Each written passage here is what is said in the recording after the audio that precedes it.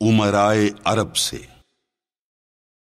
भोपाल शीश महल में लिखे गए। करे, ये काफिरे हिंदी भी जुरत गुफ्तार। अगर न हो, उमराए अरब की बेअदबी। ये नुक्ता पहले सिखाया गया किस उम्मत को? विसाल मुस्तफवी, इफ्तराक बूलहबी।